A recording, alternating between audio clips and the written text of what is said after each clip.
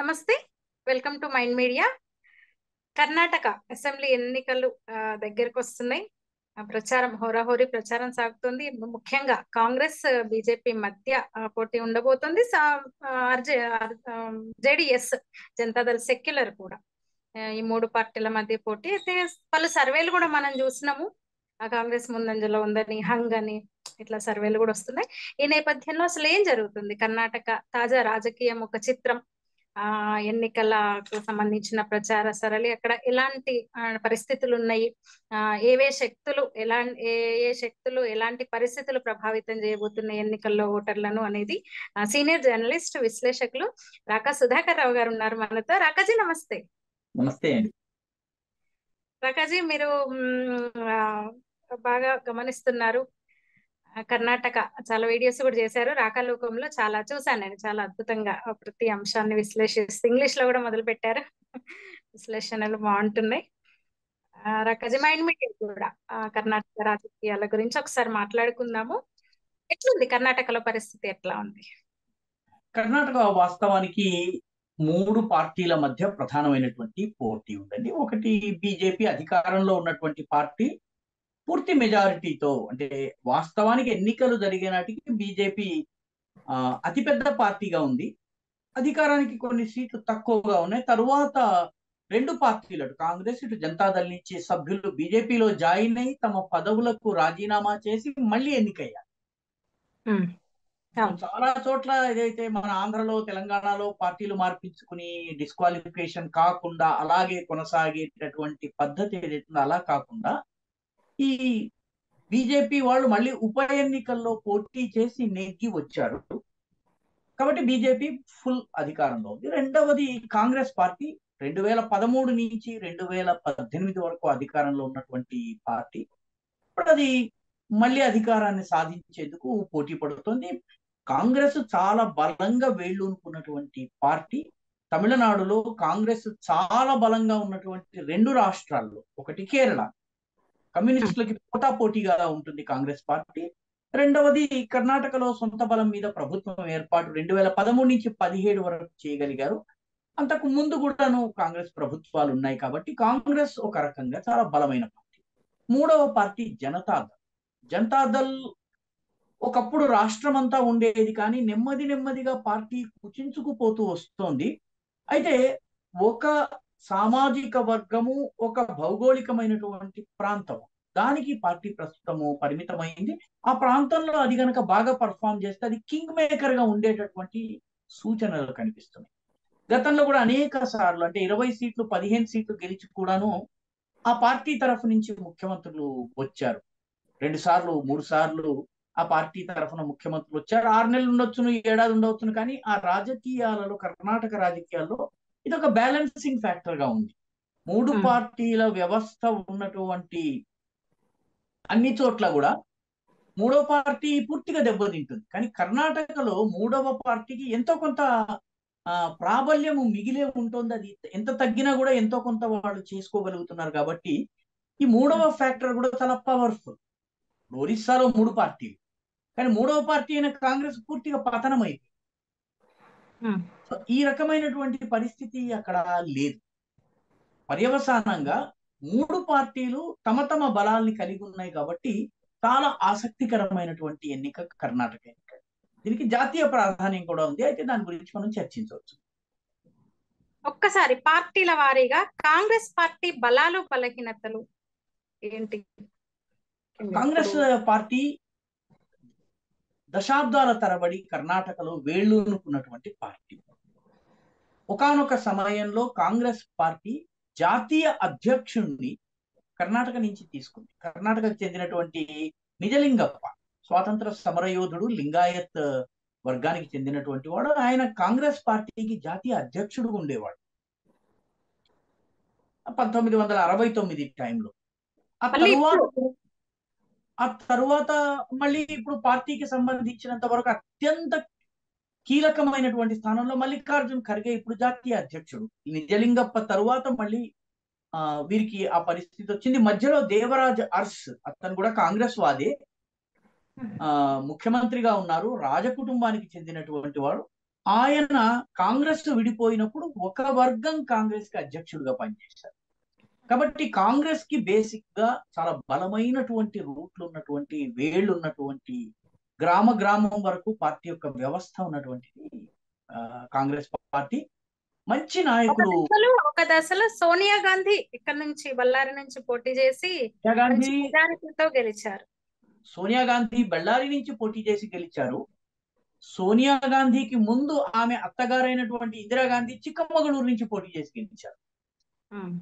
ఒకసారి చిక్కమగళూరు నుంచి అత్తగారు గెలిచారు. కోడలు మీకు బళ్ళారి నుంచి గెలిచింది. కాబట్టి కాంగ్రెస్కి అవసరమైన ప్రతిసారి సహాయం చేసినటువంటి రెండు రాష్ట్రాలు. ఒకటి ఆంధ్రప్రదేశ్ అవిభక్త ఆంధ్రప్రదేశ్.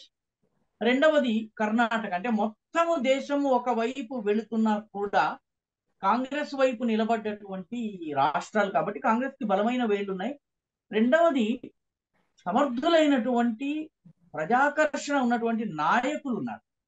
ప్రస్తుతము కాంగ్రెస్ పార్టీకి ఆ రకమైనటువంటి నాయకత్వము కొరత చాలా ఉంది. ప్రాంతీయంగా చాలా బలము కలిగి ఉన్నటువంటి ప్రాంతీయ నాయకులు కాంగ్రెస్ పార్టీకి ఉన్నారు. ఒకరు సిద్ధరామయ్య. సిద్ధరామయ్య కూడాను కర్ణాటకలోని మూడవ అతిపెద్ద కులం కురుబ అనేటటువంటిది. కురుబ అంటే మన కురుమతో సమానం అది.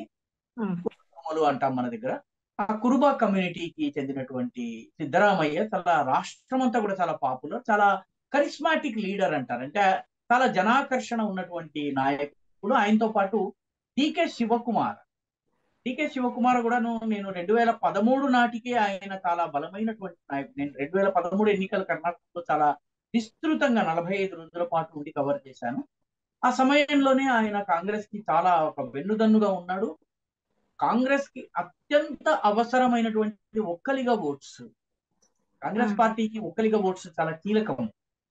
ఆ ఆ వర్గానికి చెందిన వాడు కావడం ఆయనకు కూడాను రాష్ట్రం అంతా పరిచయాలు అవి ఇవి ఉన్నాయి. తర్వాత కూడా. వేరే వ్యక్తిని లింగ ఎంబీ పాటిల్ అతను క్యాంపెయిన్ కమిటీ చైర్పర్సన్ అతను కూడా లింగాయతే అయితే. డికే శివకుమార రెండు వేల పదమూడు నుంచి ఈ రోజు వరకు కూడా కాంగ్రెస్కి సంబంధించినంత వరకు వనరులు సమకూర్చేటటువంటి అత్యంత సమర్థవంతుడైనటువంటి నాయకుడు యువ నాయకుడు మొన్న భారత్ జోడో యాత్ర అంతా కూడా ఆయన ద్వారా నడిచింది. కాబట్టి బలమైన నాయకత్వము వేళ్ళూనుకున్నటువంటి సంఘటనా శక్తి బీజేపీ పట్ల ఐదు సంవత్సరాలు పరిపాలించిన కారణంగా ఉన్నటువంటి కొంత యాంటీ ఇన్కంబెన్సీని సొమ్ము చేసుకోగలిగే సామర్థ్యం కాంగ్రెస్ పార్టీకి ఉంది. సో ఈ కారణాల వల్ల కాంగ్రెస్ నిజంగా ఒక రకంగా బలము. బలహీనతల గురించి చెప్పాలంటే కాంగ్రెస్ పార్టీలో అంతర్గత కలహాలు చాలా పెద్ద స్థాయిలో. ఇప్పటికే డికే శివకుమార్ ఢిల్లీకి వెళ్ళి మీడియా అంతా కలిసి నన్ను ముఖ్యమంత్రిగా ప్రొజెక్ట్ చేయాలని అడిగినట్టుగాను కొందరు మీడియా వాళ్ళు సరేనన్నట్టు కొందరు మీడియా వాళ్ళు సిద్ధరామయ్య ఉన్నారు కదా అన్నట్టుగా ఇటువంటి వార్తలు వస్తున్నటువంటి నేపథ్యంలో ఈ అంతర్గత కలహాలు పార్టీని దెబ్బతీసే అవకాశం ఉంది. రెండవది కేంద్రీయ నాయకత్వం బలంగా లేకపోవడం కూడా ఒక ప్రధానమైనటువంటి ఇబ్బంది. ఎందుకంటే ఏ పార్టీకైనా ఒక జాతీయ పార్టీకి సెంట్రల్ లీడర్షిప్ యొక్క బలము వాళ్ళ యొక్క మారల్ అథారిటీ చాలా ముఖ్యమైనది కాబట్టి రేపు టికెట్ల డిస్ట్రిబ్యూషన్ కానీ ఇటువంటి విషయాల్లో అన్నిట్లలో కూడా సీట్ల పంపిణీ దీనిలో చాలా ఇబ్బందులు తలెత్తే అవకాశం ఉంది. మూడవది కాంగ్రెస్ ప్రభుత్వం కరప్ట్ ప్రభుత్వం అన్నటువంటి పేరు. నాలుగవది కర్ణాటక రాజకీయాలు అత్యంత ప్రధానమైనటువంటి సామాజిక వర్గమైనటువంటి లింగాయతులలో కాంగ్రెస్ పార్టీకి అసలు నాయకులు లేరు. శవనూరు శివశంకరప్ప ఆయనకు తొంభై ఏళ్ళు వచ్చినాయి. ఆయన లింగాయత నాయకుడు. వి- మత్తికట్టి అని డాక్టర్ మత్తికట్టి అని ఒక లీడర్ ఉండేవాడు. అతను లింగాయత్ అతను కూడా ముసలివాడు అయిపోయాడు. ఇప్పుడు ఎంబీ పాటిల్ ఇటువంటి ఒకళ్ళిద్దరు లీడర్స్ని వాళ్ళు ప్రొజెక్ట్ చేస్తున్నా కూడాను రాష్ట్ర వ్యాప్తంగా ఎడియూరప్ప లాగా లేకపోతే మీకు ఎడియూరప్ప కుమారుడి లాగా బసవరాజ్ బొమ్మాయి లాగా జగదీష్ షెట్టర్ లాగా గుర్తింపు ఉన్నటువంటి లింగాయత నాయకత్వం కాంగ్రెస్ దగ్గర లేదు. ఇది కాంగ్రెస్కు ఉన్నటువంటి అతిపెద్ద బలహీనత ఐడియాలజికల్గా కాంగ్రెస్ రాష్ట్రమంతా ఉన్నప్పటికీ కొన్ని ప్రాంతాల్లో బలహీనంగా ఉదాహరణకి మంగళూరు ప్రాంతం ఏదైతే కోస్టల్ కర్ణాటక దాన్ని కరావళి రీజియన్ అంటారు. కరావళి అంటే మొత్తం తీర ప్రాంతం. తీర ప్రాంతంలో కాంగ్రెస్ చాలా బలహీనంగా ఉంది. అదేవిధంగా మీకు ముంబై కర్ణాటక ఏదైతే ప్రాంతం ఉందో ఈ ముంబై కర్ణాటక ప్రాంతము కూడాను కాంగ్రెస్ కొంత బలహీనంగా ఉంది. బెంగళూరులో కాంగ్రెస్ బీజేపీలు సమానంగా ఉన్నాయి. బెంగళూరు సిటీలో ఇరవై ఎనిమిది సీట్లు ఉంటాయి ఇది కొంచెం కాంగ్రెస్ పార్టీకి కొన్ని కొన్ని చోట్ల రీజనల్ బలహీనతలు ఉన్నాయి. కొన్ని కొన్ని విషయాల్లో కాంగ్రెస్ పార్టీ అనుసరించిన విధానాలు హిజాబ్ విషయం ఇటువంటివన్నీ కూడాను ఇవి పార్టీ కొంచెం దెబ్బతీసేటటువంటి అవకాశాలు. అలాగే బీజేపీ అంటే ఇప్పుడు మీరు అన్నారు ప్రభుత్వ వ్యతిరేకతను ఇది చేసుకునే లీడర్షిప్ కాంగ్రెస్లో ఉంది. అవినీతి కూడా కాంగ్రెస్ అవినీతి ఎక్కువ చేసిందని ఉంది కానీ ఈ మధ్య ఎప్పుడు లేని కర్ణాటక బీజేపీలో ఇప్పుడు గాలి జనార్దన్ రెడ్డి బీజేపీ లాంటి వాళ్ళతో కొంచెం అవినీతి బీజేపీలో కూడా అవినీతి పరులు ఉన్నారనే ఒక ఇది కూడా ఉంది కొంచెం కర్ణాటక వరకు మిగతా మనలో మాటగా చెప్పాలన్నట్టయితే అవినీతి ఎప్పుడు కూడాను ఎన్నికల ఇష్యూ కాదండి ఈ దేశ చరిత్రలో ఒక. బొఫోర్స్ ఎన్నికలని వదిలిపెడితే మిగతా ఎన్నికల్లో ఎక్కడ రాష్ట్రాలు కానీ కేంద్ర ఎన్నికలు కానీ అవినీతి ఒక పొలిటికల్ ఇష్యూగా మారిన దాఖలాలు లేవు. దురదృష్టకరము. నిజానికి అవినీతి మేజర్ ఇష్యూ కావాలి కానీ అది కాలేదు. మీకు అవినీతి పరుడుగా జైలుకి వెళ్ళినటువంటి మధు కూడా జార్ఖండ్ ముఖ్యమంత్రి భార్య ఎన్నికల్లో పోటీ చేసి విజయం సాధించింది. అవినీతి పరుడు అని చెప్పినటువంటి సుఖ్రామ్ టెలికాం స్కామ్లో చాలా ఇతను తరువాత ఎన్నికల్లో పోటీ చేశారు విజయం సాధించారు. చాలా అవినీతి పరుడు అని చెప్పేసేసి చెప్పినటువంటి వ్యక్తి కొన్ని వ్యక్తులు కొందరు రాష్ట్రాల ముఖ్యమంత్రులుగా ఉన్నారు. అత్యంత అవినీతికి పాల్పడుతున్నారు అన్నటువంటి వాళ్ళు చాలా మంది దక్షిణాది రాష్ట్రాల్లో మంత్రులుగా ముఖ్యమంత్రులుగా ఉన్నారు. కాబట్టి అవినీతి కన్నా కూడాను యాక్చువల్గా కుల సమీకరణలు కావచ్చును. ఓవరాల్ జనరల్ పరిపాలన పట్ల ఉన్నటువంటి అభిప్రాయాలు ఇవి కొంత బీజేపీ కొంత అనుకూలతలు ఉన్నాయి కొంత ప్రతికూలతలు ఉన్నాయి అనుకూలత ఏంటంటే బీజేపీ కూడా సంఘటనాత్మకంగా చాలా బలంగా ఉంది. కర్ణాటకలో బీజేపీ ఎదిగినటువంటి రీతి చూస్తే మీకు ఆశ్చర్యం కలుగుతుంది. పంతొమ్మిది వందల ఎనభై మూడులో బీజేపీ పంతొమ్మిది ఎమ్మెల్యే సీట్లు గెలుచుకున్నాయి. అప్పుడు ఏకే సుబ్బయ్య అని కూర్గుకి చెందినటువంటి నాయకుడు ప్రతిపక్ష నాయకుడుగా ఉండేవాడు. చాలా ఫైరీ లీడర్ అతను అసెంబ్లీలో అతని వాగ్దాటికి కాంగ్రెస్ నిలబడలేకపోయింది. ఉమ్, కానీ పార్టీలో చీలిక వచ్చి పంతొమ్మిది మంది ఎమ్మెల్యేలో పదిహేడు మంది ఏకే సుబ్బయ్యతో పాటు బీజేపీని వదిలి వెళ్ళిపోయారు ఎనభై మూడులో. ఓ. ఇద్దరు ఎమ్మెల్యేలు బీజేపీలో మిగిలారు. ఆ మిగిలిన ఇద్దరు ఎమ్మెల్యేలో ఒక ఎమ్మెల్యే పేరు బిఎస్ యడియూరప్ప ఎనభై మూడులో యడియూరప్ప తన నియోజకవర్గం షికారిపుర షిమోగా జిల్లాలో ఉంటుంది అక్కడి నుంచి ఆయన ఎమ్మెల్యే.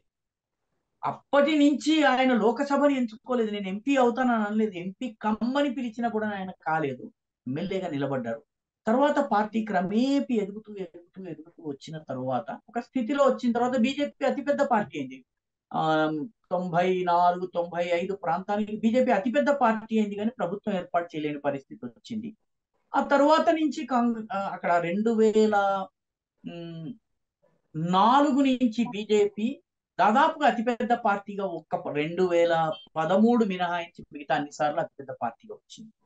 రెండు వేల పదమూడు ఎన్నికల్ని మనము మిగతా ఎన్నికలతో పోల్చలేం. కాబట్టి బీజేపీ సంస్థాగత పటిష్టత ఉంది బలం ఉంది మూడు ప్రాంతాల్లో బీజేపీ బలం బాగుంది. కర్ణాటకలో ఆరు ప్రధానమైన ప్రాంతాలు ఉన్నాయండి అందులో ఒకటి చిత్తూరు కర్ణాటక అంటారు. అంటే ముంబైని ఆనుకుని ఉన్నటువంటి ప్రాంతము మహారాష్ట్ర సరిహద్దులో ఉన్నటువంటి బెళగావి తర్వాత బెళగావి గదగ్ దావణగిరి ఈ ప్రాంతాలన్నీ ఉన్నాయి.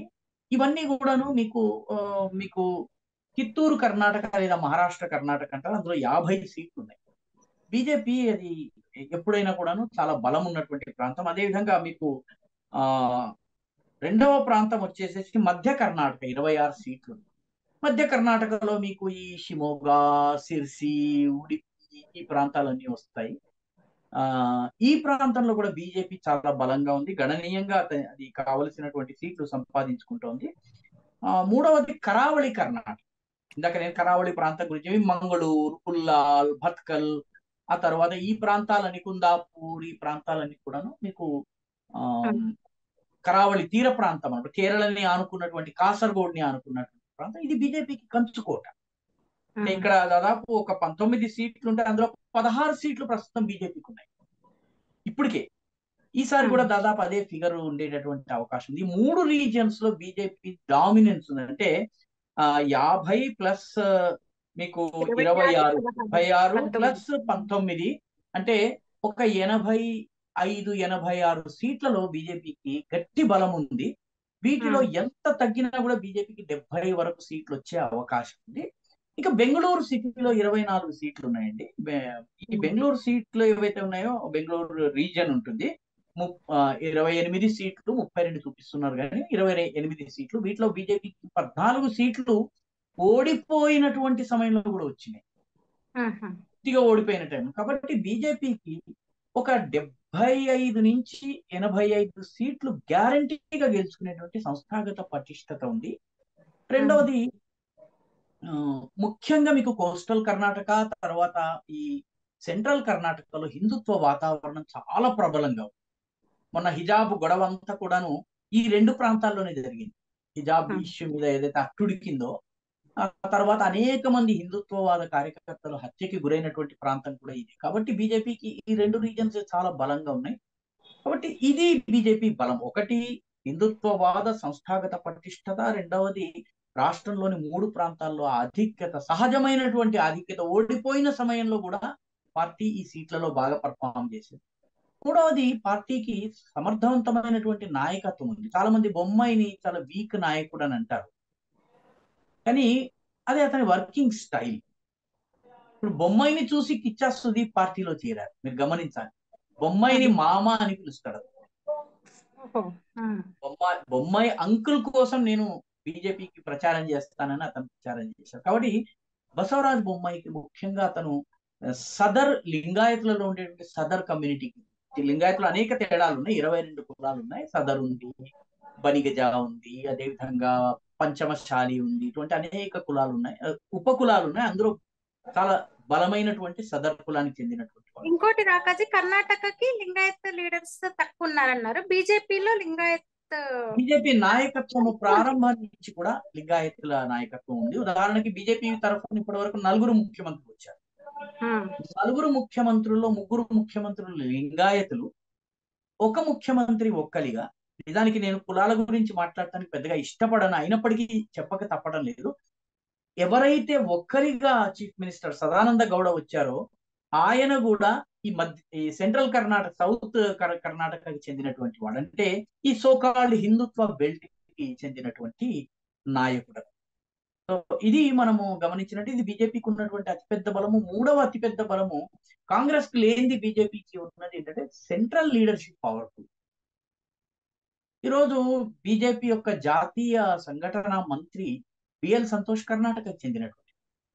కర్ణాటక ఎన్నికలు కనీసము మూడు నాలుగు ఎన్నికలు చూసినటువంటి వ్యక్తి కర్ణాటక రాజకీయాలు తెలిసినటువంటి వ్యక్తి. ప్రధానమంత్రి నరేంద్ర మోదీకి ఉన్నటువంటి క్రేజ్ కర్ణాటకలో చాలా ఎక్కువ ఉంది. మీరు గమనిస్తే రెండు వేల పంతొమ్మిది లోక్సభ ఎన్నికల్లో బీజేపీకి రెండు సీట్లు మినహా ఇరవై ఎనిమిది ఎంపీ సీట్లలో రెండు సీట్లు మినహాయించి ఇరవై ఆరు వచ్చినాయి. ఫిఫ్టీ వన్ పర్సెంట్ ఓటు వచ్చింది మోదీ కోసం. సో మోదీ ఫ్యాక్టర్ చాలా కీలకమైనది. మోదీ బాగా విస్తృతంగా పర్యటన చేస్తున్నారు. మోదీ రావాలి మోదీ ఓటేయాలి అన్నది అక్రాస్ ద పార్టీస్ ఉన్నటువంటి భావన. కాబట్టి ఇది బీజేపీకి బాగా కలిసి వస్తుంది. ఈ మూడు బీజేపీకి బలహీనతలు బల బలాలు బలహీనతల విషయానికి వచ్చేటప్పటికి బీజేపీ వరకు చూసినట్లయితే ఐదేళ్ళు పరిపాలనలో కొన్ని కొన్ని విషయాల్లో డెలివర్ చేయలేకపోయింది అన్నటువంటి భావన ముఖ్యంగా బీజేపీకి మద్దతునిచ్చేటువంటి అర్బన్ ఓటర్స్లో పట్టణాల్లో ఉండేటువంటి ఓటర్స్లో ఉంది పట్టణాల్లో ముఖ్యంగా బెంగళూరు లాంటి సిటీ కానివ్వండి బెళగాం లాంటి సిటీ కానివ్వండి మంగళూరు లాంటి సిటీ కానివ్వండి ఓటింగ్ పర్సంటేజ్ చాలా తక్కువ ఉంది. Urban city percentage fifty percent కూడా దాటనటువంటి పరిస్థితి ఉంది. ఇది కొంచెము బీజేపీకి ఆందోళన కలిగించేటటువంటి విషయం. బీజేపీ మద్దతుదారులందరూ బయటకు వచ్చి ఓటు వేయగలరా లేదా? ఇది ఆలోచించాల్సినటువంటి అవసరం ఉంది.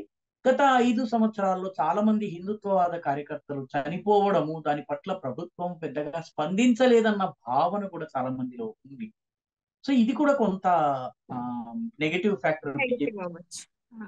ఓవరాల్గా ఐదేళ్ళు పరిపాలించిన తరువాత కొంత ఏదైతే అసంతృప్తి ఉంటుందో అది కూడా బీజేపీకి వ్యతిరేకంగా మాండ్యా ఏ రీజియన్ కిందకి వస్తుంది సుమలత కూడా పార్టీ ఇంతకు ముందు వాళ్ళ హస్బెండ్ కాంగ్రెస్లో ఉండే మినిస్టర్గా కూడా చేశారు సెంట్రల్ మినిస్టర్గా. ఆ ఏరియాలో వాళ్ళకి మంచి మాండ్యా జిల్లా అనుకుంటా. జిల్లా వరకు వాళ్ళకి మంచి పట్టుంది. మైసూరు మాండ్యా అటువైపు. ఇది మధ్య కర్ణాటక కిందకి వస్తుందా ఇది? లేదండి. ఈ మండ్యా మండ్యా ఒకటి హాసన్ ఒకటి అదే విధంగా మైసూర్ కావచ్చు కోలార్ కావచ్చును. ఈ ప్రాంతం అంతా కూడా ఓల్డ్ మైసూర్ రీజన్ అండి. ఇది. బెంగళూరుకి తూర్పు వైపున ఉంటుంది. తమిళనాడు బార్డర్ దాకా కోలార్ తమిళనాడు బార్డర్ అండి. కోలార్లో తమిళము తెలుగు కన్నడ మూడు సమానంగా మాట్లాడతారు. బళ్ళారి ప్రాంతం ఉంది. తెలుగు అదే విధంగా మీకు ఆ బళ్ళారి అయితే దాన్ని హుబ్లీ ప్రాంతంలో కూడా కలుపుతారు అనుకోండి కానీ మొత్తానికి ఈ ప్రాంతం అంతా కూడా ఈ మైసూర్ మైసూర్ మహారాజు పరిపాలనలో ఉన్నటువంటి ప్రాంతం ఇది. ఈ ప్రాంతంలో ఓటర్లలో ఒక్కలిగా ఓటర్ల శాతం ఎక్కువ. ఒక్కలిగలు దాదాపు ఒక లెవెన్ పర్సెంట్ ఒక్కలిగా అంటే మన మన తెలుగు భాషలో చెప్పాలంటే గౌడు గౌడ్స్. బలిజ అనుకుంటా రాకాజీ బలిజ గౌడ- అనుకుంటా. అదే. అంటే గౌ గౌ గౌడ గాని గౌడ శ్రీశయన బలిజ యాత ఇట్లాంటి అనేక పేర్లు ఉన్నాయి ఒక్కొక్క కులానికి ఏరియాని బట్టి కాపుకి కూడాను కాపు తెలగ ఒంటరి ఇట్లా పేర్లు రకరకాల పేర్లు ఉన్నట్టుగానే తిరుపతి ప్రాంతంలో బలిజలు అంటే కాపులు. కాపులు గోదావరి జిల్లాల్లో కూడా కొంచెం వాళ్ళు గోదావరి తెలంగాణలో గౌడ వేరుంటారు కొన్ని చోట్ల బలిజలు ఉన్నారు. వేరు.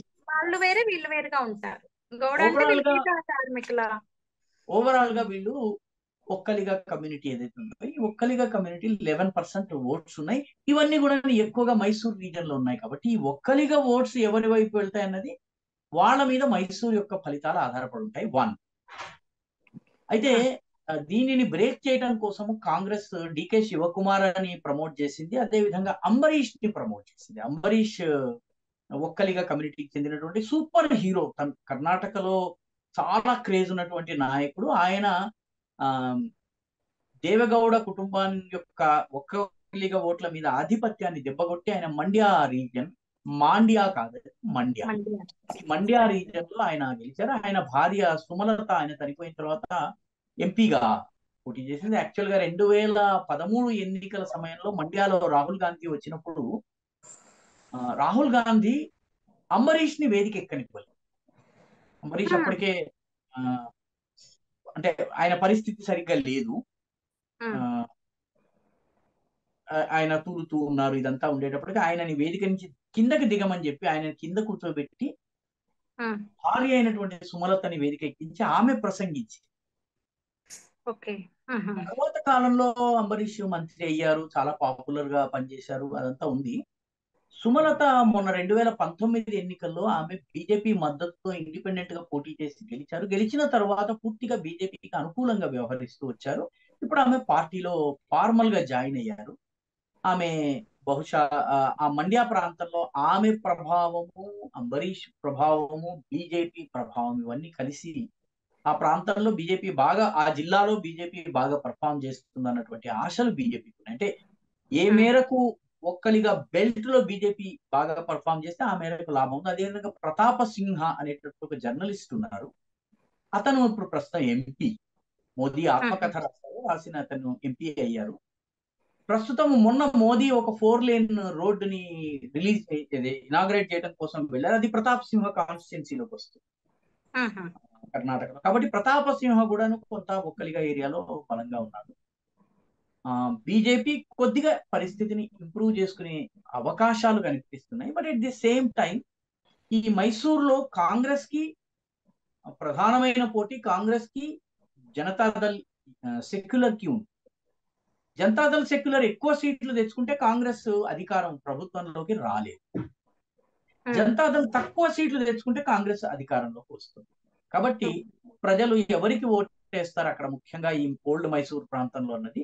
మూడోది బీజేపీ ఏ మేరకు తన గ్రాఫ్ని పెంచుకుంటుంది అన్నది మూడవ పాయింట్. కాబట్టి ఇది ఒక రకంగా చెప్పాలంటే ఎన్నికల పరంగా అధికారంలోకి ఏ పార్టీ వస్తుందని నిర్ధారించే పరంగా చూసినట్లయితే ఓల్డ్ మైసూర్ అత్యంత కీలకమైంది. ఎందుకంటే ఈ ఓల్డ్ మైసూర్ ప్రాంతంలో మీకు అరవై ఒక్క సీట్లు ఉన్నాయి. అత్యధిక సీట్లు ఇక్కడే ఉన్నాయి.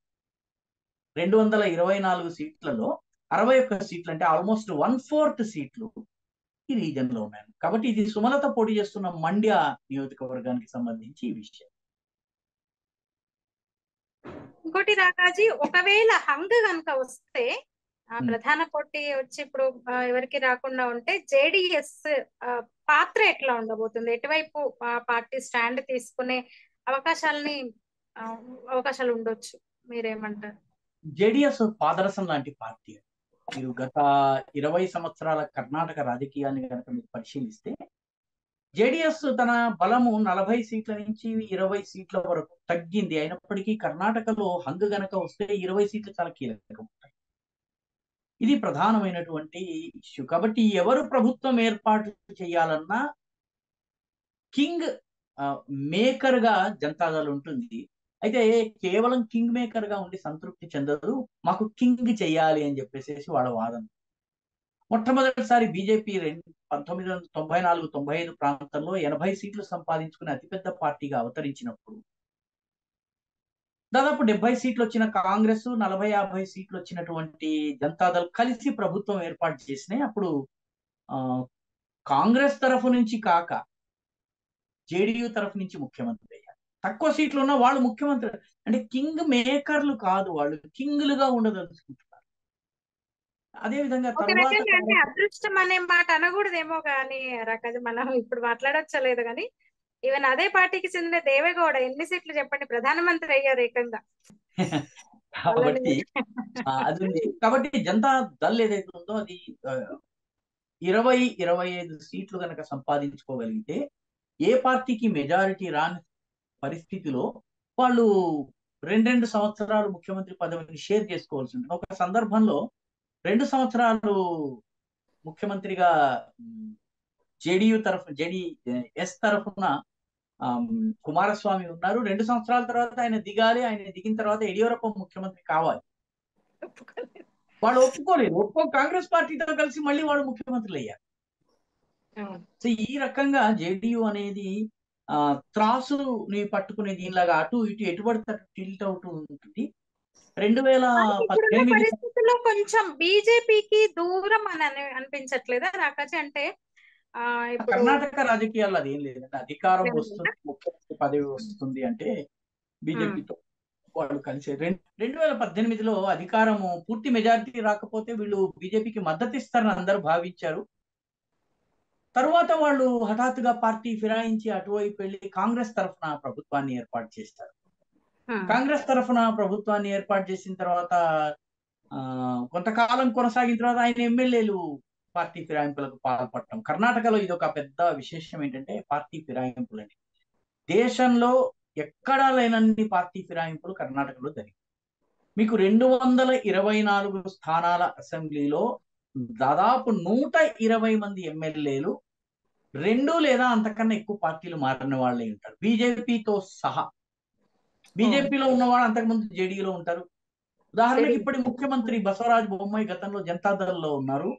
వాళ్ళ నాన్నగారు Jayadevappa Halappa sorry S R Bommai.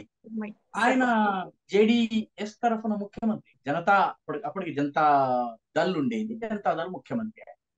కాబట్టి ఇంకొక నాయకుడు కర్ణాటకలో శ్రీరాములు అని అప్పట్లో ఒక ఆయన హవా నడిచింది. బీజేపీ అధికారంలో ఉన్నప్పుడు బీజేపీ నాయకుడుగా తర్వాత వేరే పార్టీ ఏదో పెట్టారు బయటికి వెళ్ళి ఇప్పుడు ఆయన పేరు ఎక్కువగా ఉన్నాడు కదా శ్రీరాములు రాజకీయాల్లో. శ్రీరాములు ఉన్నారండి. శ్రీరాములు చాలా ఆసక్తికరమైనటువంటి నాయకుడు. రెండు వేల పదమూడులో నేను శ్రీరాములు నియోజకవర్గం బెళ్ళారి రూరల్ ఉంటుంది. ఆ నియోజకవర్గంలోకి నేను లోపల చాలా లోపల గ్రామాలకు వెళ్ళాను. ఆయనకి ఆ గ్రామాల్లో ఉన్నటువంటి పట్టుని మీరు చూసినట్లయితే మీరు ఆశ్చర్యపోతారు. అవన్నీ తెలుగు భాష మాట్లాడే గ్రామం. ఆయన ప్రసంగం తెలుగులో ఉంటుంది. తెలుగులోనే మాట్లాడతారు ఆయన. కన్నడ తెలుగు ఈ రెండు భాషలు వచ్చు. చాలా బలమైనటువంటి నాయకుడు. బోయ అనే ఒక కమ్యూనిటీ ఉంది. మన రాయలసీమలో బోయ కమ్యూనిటీ ఉంటుంది కదా ఆ బోయ కమ్యూనిటీకి చెందినటువంటి నాయకుడైన కర్ణాటకలో బళ్ళారి చుట్టుపక్కల ఒక నాలుగైదు నియోజకవర్గాల్లో బోయ ఓట్లు చాలా కీలకం. మళ్ళీ మీకు బోయ ఓట్లు మీకు హుబ్లీ ధార్వాడ ఆ ఏరియాలో ఉన్నాయి. అక్కడ కూడా ఈయన ప్రభావం ఉంది. కాబట్టి ఈయన ఒక ఏడెనిమిది సీట్లను ప్రభావితం చేసే సామర్థ్యం ఉన్నటువంటి నాయకుడు.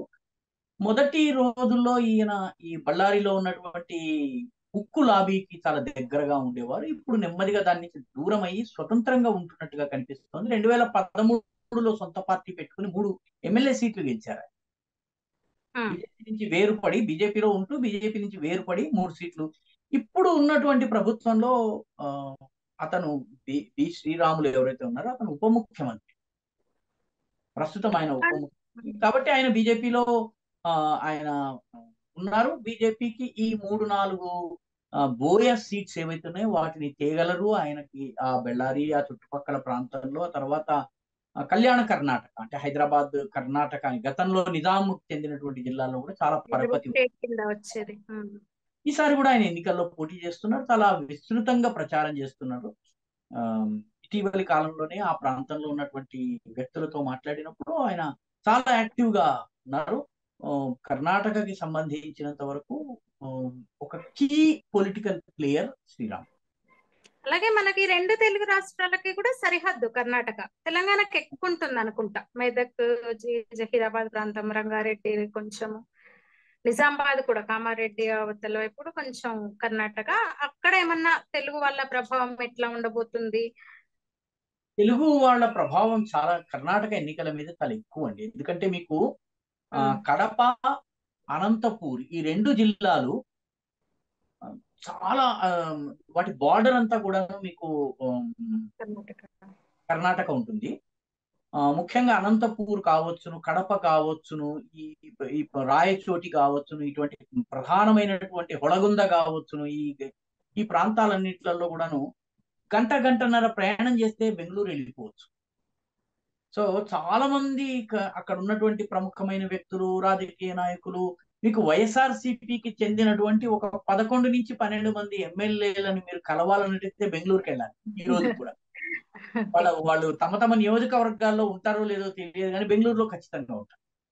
పక్కనే కదా దగ్గరే. పక్కనే ఉంటుంది. బెంగళూరులో వీళ్ళందరికీ ప్రాపర్టీస్ ఉంటాయి వ్యాపారాలు ఉంటాయి లావాదేవీలు ఉంటాయి. కాబట్టి వీళ్ళ ప్రభావం అన- అనంతపూర్ ఏరియాకి సంబంధించినంత వరకు చాలా డీప్ ఇకనామిక్ టైస్ ఉన్నాయి ఆర్థిక సంబంధాలు ఉన్నాయి పెళ్ళిళ్ళు చేసుకున్నటువంటి వివాహపరమైనటువంటి సంబంధాలు ఉన్నాయి.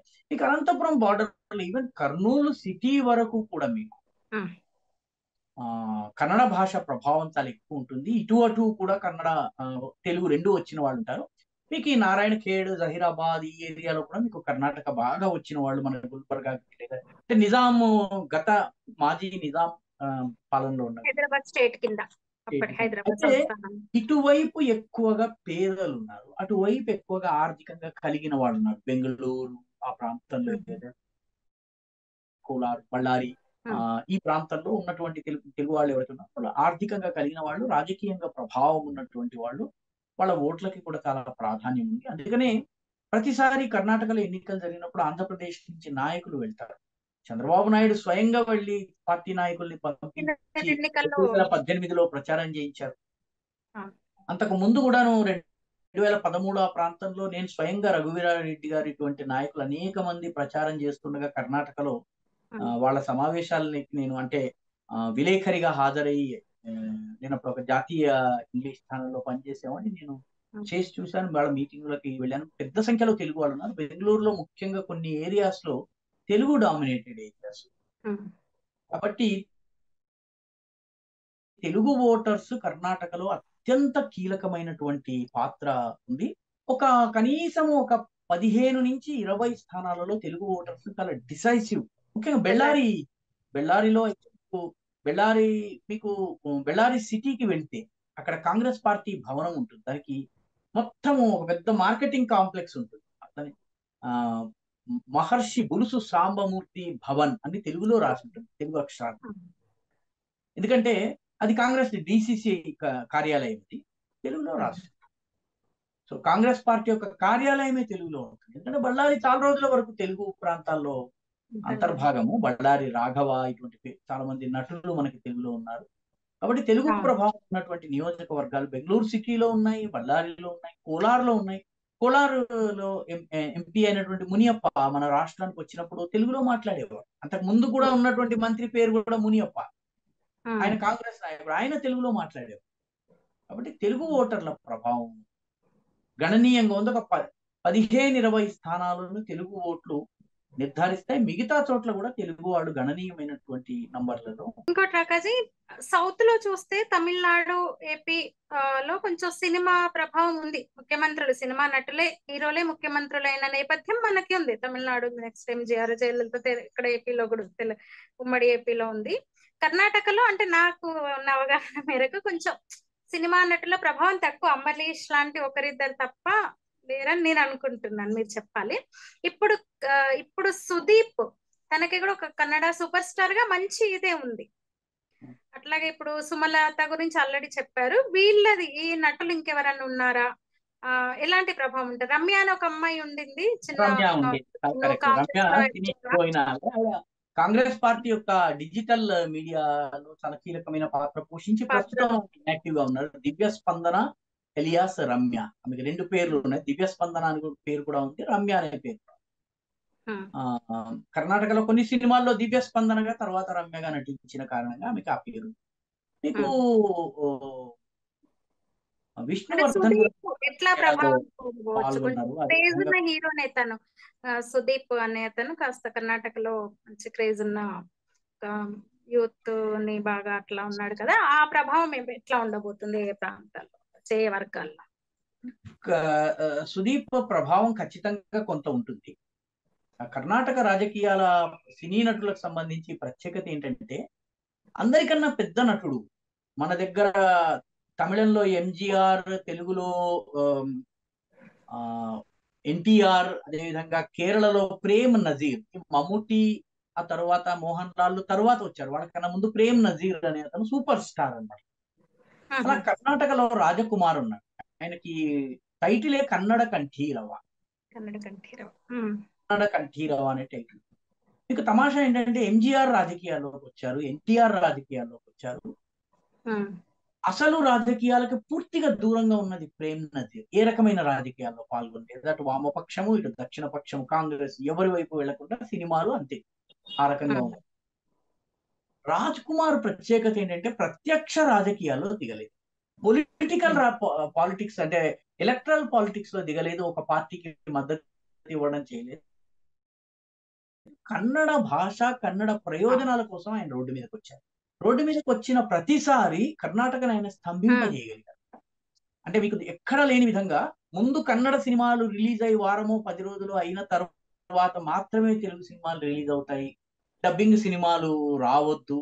ఈ రకమైనటువంటి ఆంక్షలు విధించి వాటిని పాటింపజేస్తున్న ఏకైక ఫిలిం ఫీల్డ్ కన్నడ ఫీల్డ్ అండి. అది రాజకుమార్. శిక్ష రాజకుమార్ పేరిట ఈ రోజుకి కూడా ప్రజలు రోడ్డు మీదకి అందుకే ఇప్పుడు వాళ్ళ సన్ కూడా మొన్న చనిపోయారు కదా పేరు. చనిపోయిన అతను ఉన్నాడు. ఒకతను శివకుమార్ ఒకతను శివరాజ్ కుమార్ ఇద్దరు. ఇద్దరు. ఉన్నారు. ఒకతను ఉన్నారు ఒకతను చనిపోయారు.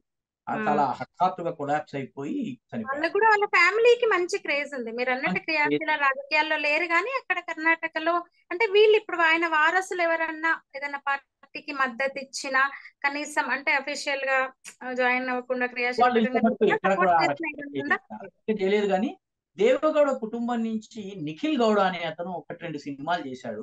అతను ఎంపీగా పోటీ చేశాడు. మండ్యాలో సుమలత మీద పోటీ చేసి ఓడిపోయారు సుమలత తమిళనాడులో చాలా పాపులర్ హీరోయిన్. ఆమె గట్టిగా ఉన్నారు. సరే ఆ అయితే ఇప్పుడు ఆమె పెద్ద హీరోయిన్గా ఓట్లు తెచ్చుకునే కన్నా ఒక కార్యకర్తగా పార్టీ వర్కర్ గానే ఆమెకి ప్రధానంగా ఓట్లు వస్తున్నాయి. ఎందుకంటే ఆమె సినిమాలు వదిలేసి కూడా దాదాపు పాతిక ముప్పై సంవత్సరాలు అవుతుంది. కాబట్టి సినిమా క్రేజ్ వల్ల కాదు సుదీప్ రావడంతో మీకు ఈక్వేషన్స్ మారినాయి.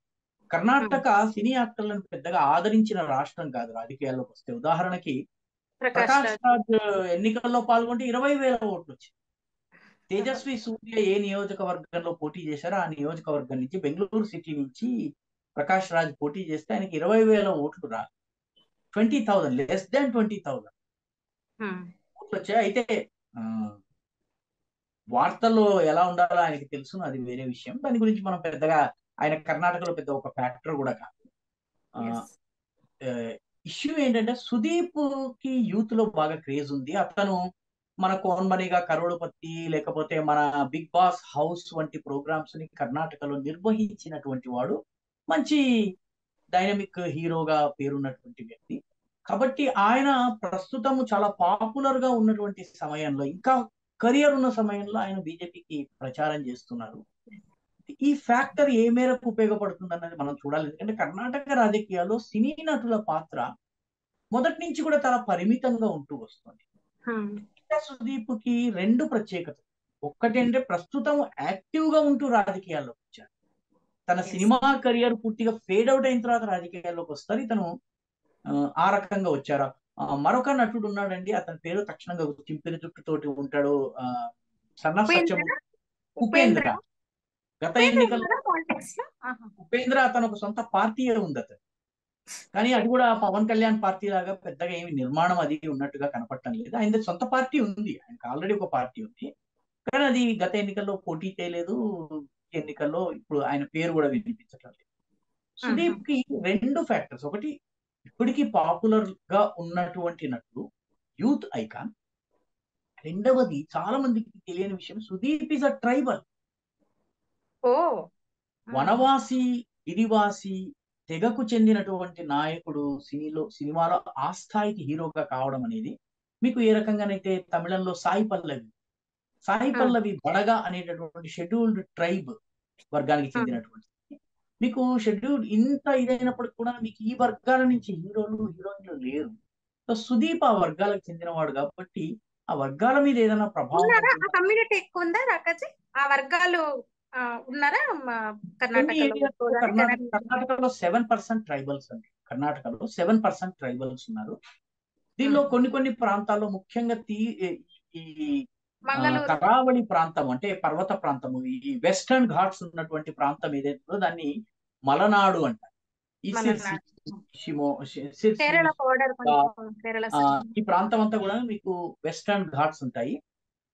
ఈ. వెస్టర్న్ ఘాట్స్ ఉన్న చోట కొంత ట్రైబల్స్ ఉన్నారు వాళ్ళ సంస్కృతులు ఉన్నాయి వాళ్ళ ఇవి ఉన్నాయి. ఆ ఏరియాలో ప్రభావం ఏమన్నా ఉంటుందా అన్నది ఒకటి. అదే విధంగా మైసూర్ ప్రాంతంలో కూడా కొన్ని ట్రైబల్స్ ఉన్నారు. మీకు ఈ కూర్గ్. ఆ కూర్గ్లో ఉన్నటువంటి వాళ్ళు ట్రైబ్స్ కాదు. కూర్గ్లో ఉన్నటువంటి వాళ్ళు క్షత్రియులు ప్రధానంగా ఎక్కువగా క్షత్రియులు వాళ్ళు. కూర్గీలు క్షత్రియులు. ఆ, దాదాపు ఇండియన్ మిలిటరీలో చాలా కీలకమైన పదవులు పోషించినటువంటి army general general Cariappa general Thimayya general Nagesh వీళ్ళందరూ కూడా కూర్గ్ ప్రాంతానికి చెందిన వాళ్ళు. సో ఓవరాల్గా ఏంటంటే కొంత ట్రైబల్ కమ్యూనిటీస్ నిగ్రోలు ఆఫ్రికా నుంచి వచ్చి ఇక్కడ ఉండిపోయినటువంటి వాళ్ళు కూడా ఒక దాదాపు ఒక లక్ష మంది దాకా డెబ్బై ఐదు వేల నుంచి లక్ష మంది దాకా ఉన్నారు. సిద్ధీలు అంటారు ఓ ఆ సిద్ధి కమ్యూనిటీ నుంచి జయరాం సిద్ధి అనే వ్యక్తికి బీజేపీ ఎమ్మెల్సీ చేసి చిన్న కమ్యూనిటీ ఒక సిర్సి నియోజకవర్గంలో బాగా పెద్ద సంఖ్యలో ఉంటారు. ఆ నియోజకవర్గంలో కొంత ప్రభావం ఉండడం ఈ రకంగా కొంత జరుగుతుంది అన్నట్టుగా అనిపిస్తుంది. అంటే ఎన్నికలు అయితే గాని మనము సుదీప్ యొక్క అసలు ఇంకా అతను ప్రచారంలో దిగలేదు. అతని స్పీచెస్ ఎలా ఉంటాయి మనం చూడలేదు. తర్వాత అతని ఆ. పబ్లిక్ పర్ఫార్మెన్స్ ఆ పదం వాడకూడదు. పబ్లిక్గా ఆయన యొక్క ఇది ఎలా ఉంటుంది. ఆయన ఏ రకమైనటువంటి మూడ్ బిల్డప్ చేస్తారు? ఇవన్నీ కూడా మనం రానున్న రోజుల్లో చూడబోతున్నాం కాకపోతే ఇంకొక యువ సంచలనం గురించి మనం పేరే తీయలేదు. తేజస్వి సూర్య. విజయవయం నేషనల్ ప్రెసిడెంట్గా ఉన్నాడు. కర్ణాటక సౌత్ బెంగళూరు అనుకుంటా. సౌత్ బెంగళూరు నుంచి ఎంపీగా ఉన్నారు. అప్పట్లో అంటే తనకు కూడా మంచి క్రేజే ఉంది. యువ నాయకుడు. ఆయన అంటే ఇప్పుడు అసెంబ్లీ ఎలక్షన్స్లో పెద్దగా ఆయనది ఏం లేదా అంటే అర్బన్ అర్బన్ ఓటర్స్ మీద ఖచ్చితంగా ప్రభావం ఉంటుంది. ముఖ్యంగా బెంగళూరుకి సంబంధించి బెంగళూరులో ఇరవై ఎనిమిది సీట్లు ఉన్నాయి. బెంగళూరులో ఆ, కాంగ్రెస్కి కొన్ని సీట్లు వస్తున్నాయి బీజేపీకి కొన్ని సీట్లు వస్తున్నాయి. శివాజీ నగర్ ఏరియా ఉంది. ఇటువంటి కొన్ని ఏరియాస్లో ముస్లిం ఓట్స్ ఎక్కువ ఉన్నటువంటి చోట కాంగ్రెస్ గెలుస్తూ వస్తుంది. ఎమ్మెల్యే సీట్లు ఎంపీ సీట్లు కూడా కాంగ్రెస్ గెలుస్తుంది. కొన్ని చోట్ల అక్కడ మీకు బలమైనటువంటి నాయకులు కూడా ఉన్నారు. ఒక క్రిస్టియన్ నాయకుడు ఉన్నారు. ఆయన పేరు తక్షణం గుర్తు రావడం లేదు. ఆయన చాలా బలమైనటువంటి నాయకుడు. దినేష్ గుండూరావు ఉన్నాడు. అదేవిధంగా రాజీవ గౌడ ఉన్నారు. ఇట్లా కాంగ్రెస్కి కొంతమంది బలమైనటువంటి నాయకులు ఉన్నారు కాబట్టి ఆ తేజస్వి సూర్య వరకు అర్బన్ ఏరియాస్లో ప్రభావం ఉంటుందన్నది నా అభిప్రాయం కొంత యువ ఓటర్స్ని ఆయన ప్రభావితం చేయవచ్చును. బ్రాహ్మణ వర్గానికి చెందినటువంటి వాడు. ఎందుకంటే ఆ సీట్ అంతకు ముందు కూడా ధనంజయ్ కుమార్ ఈ జయనగర్ ఇది కర్ణాటక మల్లేశ్వరం జయనగర్ ఈ ఏరియాలన్నీ వచ్చేటటువంటి లోక్సభ నియోజకవర్గం కాబట్టి అది బహుశా అర్బన్ ఏరియాస్లో ఆయన ప్రభావం ఖచ్చితంగా ఎంతో కొంత ఉంటుందని. రాకాజీ ఓవరాల్గా ఇవన్నీ చెప్పారు చాలా విషయాలు. చివరిగా రిజల్ట్ ఎట్లా ఉండబోతుంది కర్ణాటక అసెంబ్లీ? మీ అంచనా అంచనా. అంచనా చెప్పడం ఒక ఒక లెక్క మీకు నేను చెప్తాను. పోయిన ఎలక్షన్స్ రెండు వేల పద్దెనిమిది నాటి ఎన్నికల ప్రకారము కర్ణాటకలో ఆ అరవై శాతం కన్నా ఎక్కువ ఓట్లు సంపాదించుకున్నటువంటి సీట్లు బీజేపీ అటువంటి సీట్లు ఐదు ఉన్నాయి తర్వాత ఆ కాంగ్రెస్ ఇవి మూడు ఉన్నాయి జనతాదళవే ఐదు ఉన్నాయి. ఈ సీట్లలో మళ్ళీ అదే రిజల్ట్ అంటే అరవై శాతం ఓట్లు పది శాతం తగ్గినా కూడా యాభై శాతం అవుతుంది కాబట్టి వాళ్ళ విజయం. ఈ సీట్లు వాళ్ళకి ఖచ్చితంగా వస్తాయి. మీకు యాభై నుంచి అరవై శాతము రిజల్ట్స్ వచ్చిన బీజేపీకి నలభై మూడు కాంగ్రెస్కి ఇరవై నాలుగు జనతాదళకి పన్నెండు. ఈ సీట్లలో కూడా ఫలితం దాదాపుగా అలాగే ఉండేటటువంటి అవకాశం ఎందుకంటే మార్జిన్ చాలా ఎక్కువ ఉంది మీకు. యాభై నుంచి అరవై శాతం నుంచి ఒక టెన్ పర్సెంట్ తగ్గినా కూడా మెజారిటీ వాళ్ళకి కొనసాగుతుంది. మీకు జీరో టు టెన్ పర్సెంట్. అంటే పది శాతం కన్నా తక్కువ ఓట్ల సంపాదించుకున్నటువంటి సీట్లు బీజేపీ ముప్పై రెండు చోట్ల టెన్ పర్సెంట్ కన్నా అంటే అధికారంలోకి వచ్చిన ముప్పై రెండు సీట్లలో బీజేపీ టెన్ పర్సెంట్ కన్నా తక్కువ సీట్లు సంపాదించుకుంది. కాంగ్రెస్ ఆరు సీట్లు జనతాదళ్ నూట పద్దెనిమిది సీట్లు. బీజేపీకి ప్రమాద గంటిక ఇది. ఇక్కడ ముప్పై రెండు. సీట్లలో బీజేపీకి పది శాతం అంటే డిపాజిట్ దక్కలేదు. రెండు వేల పద్దెనిమిది అసెంబ్లీలో. కాబట్టి ఈ సీట్లలో బీజేపీ ప్రభావము ఎంత పెరిగినా కూడా ఈ సీట్లు గెలిచే అవకాశం తక్కువ. అదేవిధంగా బీజేపీకి ఇరవై శాతం వచ్చినటువంటి పది నుంచి ఇరవై శాతం వచ్చిన సీట్లు ఎనిమిది ఉన్నాయి. మీకు పదిహేను ఉన్నాయి. జనతాదళకి పంతొమ్మిది ఉన్నాయి కాబట్టి అలాగా ముప్పై శాతం కన్నా తక్కువ వచ్చినవి బీజేపీకి ఇరవై రెండు ఉన్నాయి కాంగ్రెస్కి ఇరవై ఎనిమిది ఉన్నాయి జేడిఎస్కి ఇరవై ఐదు. కాబట్టి గమనించవలసిన విషయం ఏంటంటే బీజేపీకి ట్వంటీ పర్సెంట్ కన్నా ట్వంటీ థర్టీ పర్సెంట్ కన్నా తక్కువ వచ్చినటువంటి సీట్లను కనుక మనం లెక్క వేస్తే యాభై నాలుగు అరవై రెండు సీట్లు ఉన్నాయి. రెండు వందల ఇరవై నాలుగు సీట్లలో అరవై నాలుగు సీట్లు బీజేపీ ఇబ్బందికరమైన సీట్లు. అంటే ఇక్కడ గెలవలేదు పార్టీ రెండు వేల పద్దెనిమిదిలో ఎప్పుడు గెలవలేదు మీకు అలా చూస్తే కాంగ్రెస్కి పదిహేను ప్లస్ ఇరవై రెండు నలభై యాభై ఐదు ఆరు అరవై ఒక్క సీట్లు కాంగ్రెస్కి లెస్ దాన్ థర్టీ పర్సెంట్ ఓట్లు వచ్చినాయి. అంటే కాంగ్రెస్కి గెలవడం కష్టం. జనతాదళ విషయానికి వస్తే నూట పద్దెనిమిది ప్లస్ పదిహేను ప్లస్ ఇరవై ఐదు ప్లస్ పదకొండు అండి. అంటే దాదాపు నూట డెబ్బై నూట అరవై సీట్లలో అది అసలు పోటీలో ఉమ్, కాబట్టి ఈ- ఈ తక్కువ ఓట్లు ఉన్నటువంటి సీట్లలో జనతాదళ్ కొంత ఎక్కువ ఓట్లు సంపాదించిన ఫలితం అటు ఇటు కాంగ్రెస్ పార్టీ ఈ సీట్లలో అద్భుతంగా పర్ఫామ్ చేసిన రిజల్ట్ ఏం మారేటట్టు కాబట్టి కాంగ్రెస్ కూడా గట్టి పోటీ ఇస్తున్నటువంటి నియోజకవర్గాలు నూట డెబ్బై నూట ఎనభై మాత్రమే. బీజేపీ కూడా గట్టి పోటీ ఇస్తున్నటువంటి సీట్లు నూట డెబ్బై నూట ఎనభై మాత్రమే మాత్రమే. జనతాదళ్ గట్టి పోటీ ఇస్తున్నవి ఒక యాభై సీట్లు మాత్రమే ఇది మనం ఈ Mhm. లెక్కని గనక గుర్తుంచుకుంటే సిక్స్టీ పర్సెంట్ ఓట్లు వచ్చినవి ఫిఫ్టీ పర్సెంట్ తగ్గిన ఒక టెన్ పర్సెంట్ తగ్గినా కూడా మళ్ళీ వస్తాయి మీకు ఫార్టీ టు ఫిఫ్టీ పర్సెంట్ వచ్చినా కూడా మళ్ళీ మార్జిన్లో గెలిచిపోవచ్చు కాబట్టి ఈ రకంగా మీరు చూసుకున్నట్లయితే బీజేపీకి తక్కువ తక్కువ ఎనభై నుంచి తక్కువకి తక్కువ ఎనభై ఐదు నుంచి సీట్ల వరకు రావచ్చును. ఎక్కువకి ఎక్కువ బాగా అంత అనుకూలత ఉండి మోడీ వేవ్ పనిచేస్తే బీజేపీ నూట పది నూట పన్నెండు పూర్తి మార్జిన్కి తక్కువ రావచ్చు. కాంగ్రెస్ పార్టీకి తక్కువకి తక్కువ అరవై నుంచి డెబ్బై ఐదు సీట్లు రావచ్చును. కలిసి వస్తే కాంగ్రెస్ పార్టీ ప్రభుత్వానికి తల చేరువుగా రావచ్చును జనతాదళ్ సహకారం. జనతాదళ్ పర్ఫార్మెన్స్ మీద చాలా విషయాలు ఆధారపడి ఉన్నాయి. జనతాదళ్కి పదిహేను పద్దెనిమిది సీట్లు వచ్చినట్లయితే అది చాలా తక్కువ వచ్చినట్టు భావించాలి. కాంగ్రెస్కి అది లాభము. జనతాదళ్ కనుక ఇరవై ఐదు ముప్పై సీట్ల వరకు వెళ్ళినట్లయితే అది కాంగ్రెస్కి ఆ మేరకు సీట్లు తక్కువ. కాబట్టి ఈ రకంగా మీరు చూసినట్లయితే ఈ రకంగా చూసినట్లయితే కాంగ్రెస్ పార్టీ బీజేపీలు ప్రథమ స్థానం కోసం పోటీ ఉన్నాయి. బీజేపీ అతిపెద్ద పార్టీగా అవతరించిన ప్రభుత్వానికి కొంచెం దూరంలో ఉండే అవకాశం ఉంది. కాంగ్రెస్ పార్టీ ఆ, రెండవ పార్టీగా ఉన్నా కూడా జేడీయూతో కలిసి ప్రభుత్వం ఏర్పాటు చేసే అవకాశం ఉంది. జేడీయూ ఓవరాల్ పర్ఫార్మెన్స్ మీద కర్ణాటక రాజకీయాలు ఆధారపడి కింగ్ మేకర్. అప్పుడు కింగ్ కావాలనుకున్నారు కానీ కింగ్ మేకర్ అవుతారు.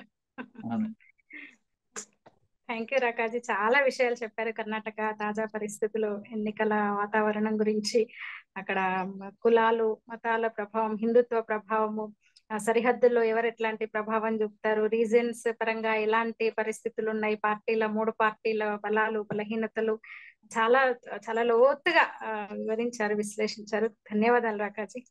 నమస్తే.